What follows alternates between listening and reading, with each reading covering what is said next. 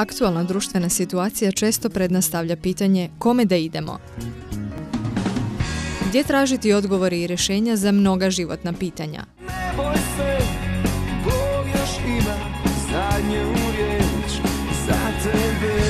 za vjernika odgovor će uvijek biti sveto pismo.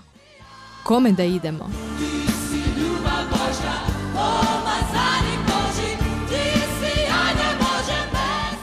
Vjerska emisija u kojoj aktualiziramo biblijska čitanja. Kome da idemo?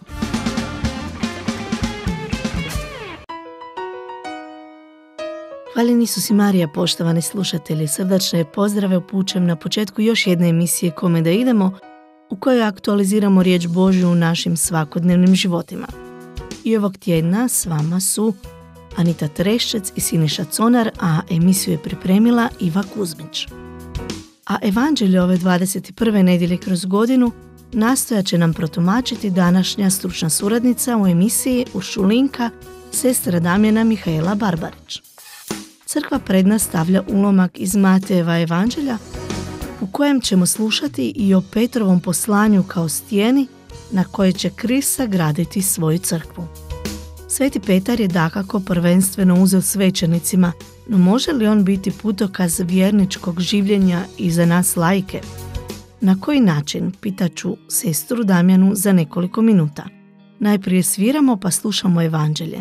Ide nam poklon lice čovjeka. Postoji znak ljubavi, u njemu smo rođeni. Biti čovjek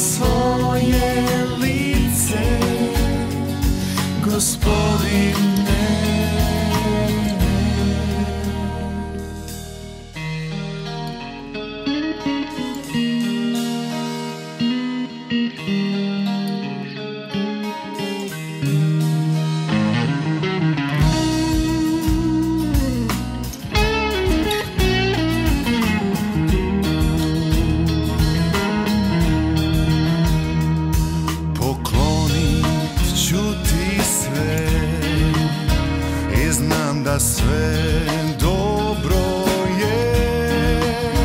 Lako je biti tvoj Kad prijatelj si moj. Ja danas bit ću više čovjek. U tebi vidim što čovjek je Dok jedno sretno dijete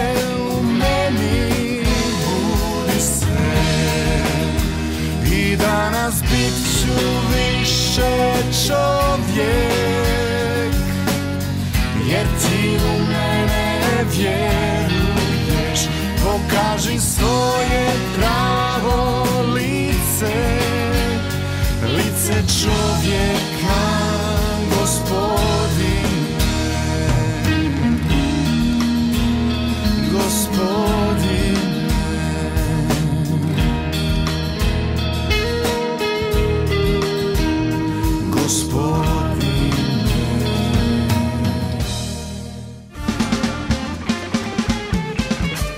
Kome da idemo? Iz Evanđelja po Mateju. U ono vrijeme dođe Isus u krajeve Cezareje Filipove i upita učenike što govore ljudi, tko je sin čovječi? Oni rekoše, jedni da je Ivan Krstitelj, drugi da je Ilija, treći opet da je Jeremija ili koji od proroka. Kaže im, a vi, što vi kažete, tko sam ja? Šimon Petar prihvati i reče, ti si Krist pomazanik, sin Boga živoga. Na to Isus reče njemu, blago tebi Šimune, sine Jonin, jer ti to ne objavi tijelo i krv, nego otac moj koji je na nebesima. A ja tebi kažem, ti si Petar stijena i na toj stijeni sakradit ću crkvu svoju i vrata paklena neće je nadvladati. Tebi ću dati ključeve kraljevstva nebeskoga, pa što god svežeš na zemlji, bit će svezano na nebesima, a što god odrešiš na zemlji, bit će odrešeno na nebesima. Tada zapreti učenicima neka nikomu ne reknu da je on Krist.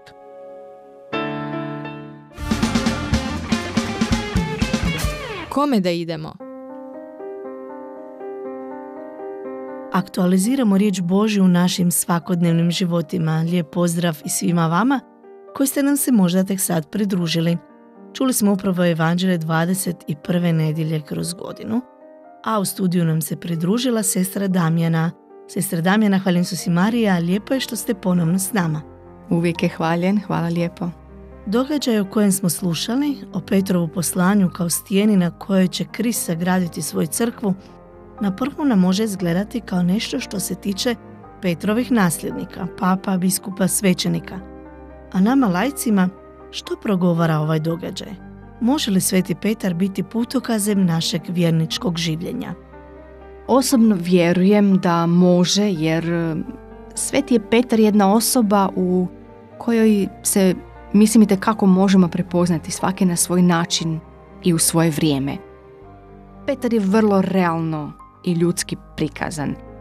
Evanđelisti nisu štedjeli papira da ga ocrtaju e, u njegovim lošim trenucima, naravno kao i u onim svjetlim trenucima. On je čovjek koji je polako onako rastao u vjeri, a tu se svi možemo prepoznati. Kod njega se doista može vidjeti kako je vjera nešto što je darovano u klici, a uz milost i nastojanje može rasti, pa ono da i planine premješta. Petar je imao sve mogućnosti, mogao je birati i zahvalni smo njemu što je izabrao baš ovakav put, da i danas nama može biti putokaz. Petar nam otkriva kako je ha, čovjek ono po naravi slab i grešan, kako može duboko pasti sve do zatajenja samoga Isusa, ali i kako je Isus pun povjerenja kad mu na temelju suza pokajnica ponovno vraća ono sve povjerenje i na koncu povjerava mu cijelu crkvu. To je Petar, stijena. Svatko od nas je pozvan isto. Graditi povjerenje i odnos s Kristom, koji onda mora postati djelatan i vidljiv u našem životu po plodovima u našim odnosima prema bližnjemu, jer naš bližnji je kamen kušac, možemo ga nazvati tako. Kakvi smo prema bližnjemu, a takva je naša vjera u Boga. Istina, nije lako uvijek iznova praštati, davati šansu i druga strana mora dati doprinos. Ne možeš ono uslijepo davati povjerenje drugoj osobi, ali Krist može učiniti čuda i treba se osloniti na njegovu riječ, ono, poput Petra. Priznajmo da smo slabi i nemoćni, ono da smo po naravi sposobni i zatajiti Isusa, ali i da smo na tom putu vjere i da nam je već e, dana šansa ono, da postignemo tu svetost samo ako slobodno izaberemo put vjere. Isus gospodin, ono svoje božanstvo, nesavladivo, neovništivo, veže s čovjekom. Slabim, grešnim, punim mana, onim koji će ga u najtežom trenutku zatajiti. Na Petru će sagraditi svoju crkvu koju ni vrata paklena neće savladati. Sestro Damjana, kako razumjeti, prihvatiti, pomiriti da taj Petar ima i nasljednike, svećenike i da nas Bog upravo u njima dotiče. Hm, kako prihvatiti, razumijeti, hm, samo, ja mislim samo u vjeri. Tu nema pameti. Ako vjerujemo da je to Isus rekao i da je On izvor naše vjere, onda možemo to prihvatiti. Sve drugo bila bi zabluda.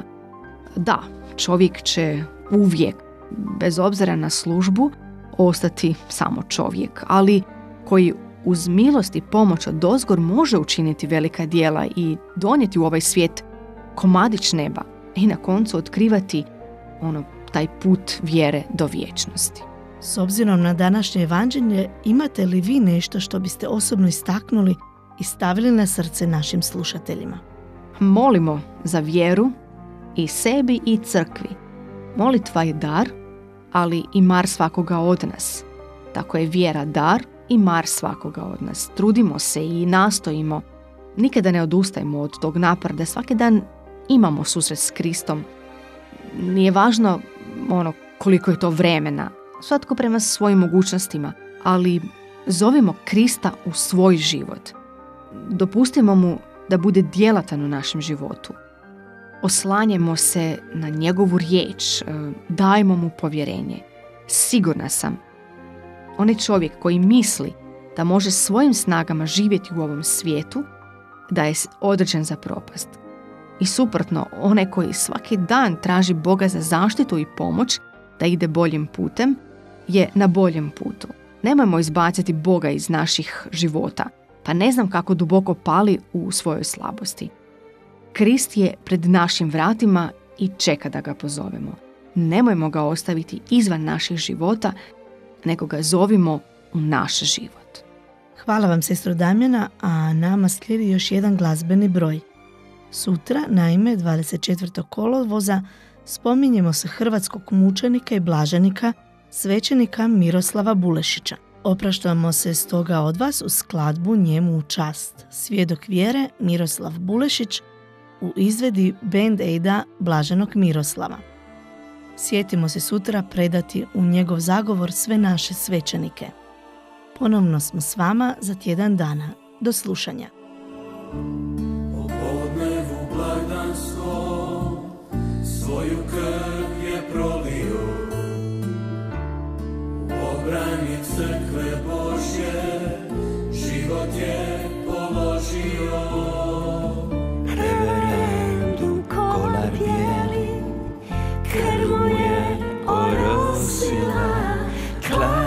Još mlad za raj bezdravi smrt je gle pokosila Svjedočanstvo on je dao, u Boga se uzdao. Vjeru svetu očuvao, kušnju je izdržao. Reverendu kolar bijeli, krv mu je orosila. Klas još mlad, za raj već zreli, smrt je gle pokosila. Mučeništva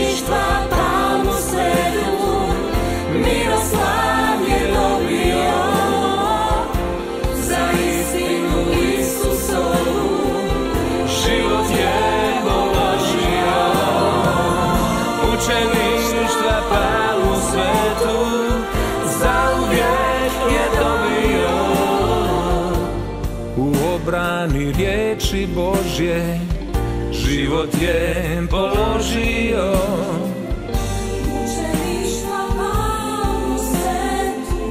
Miroslav je dobio.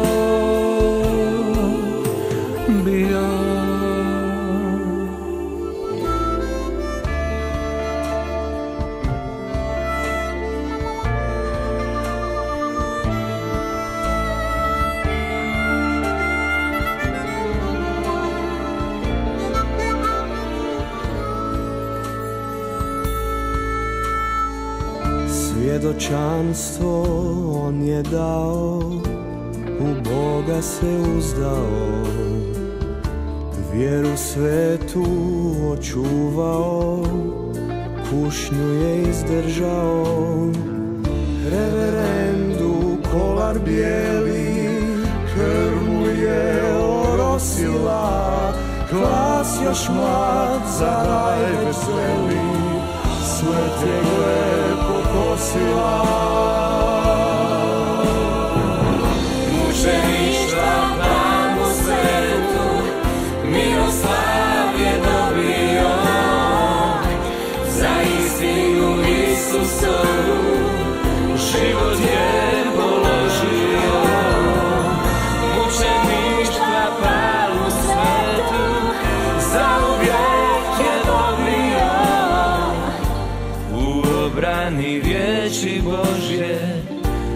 Je položio. Mučeništva palmu svetu. Miroslav je dobio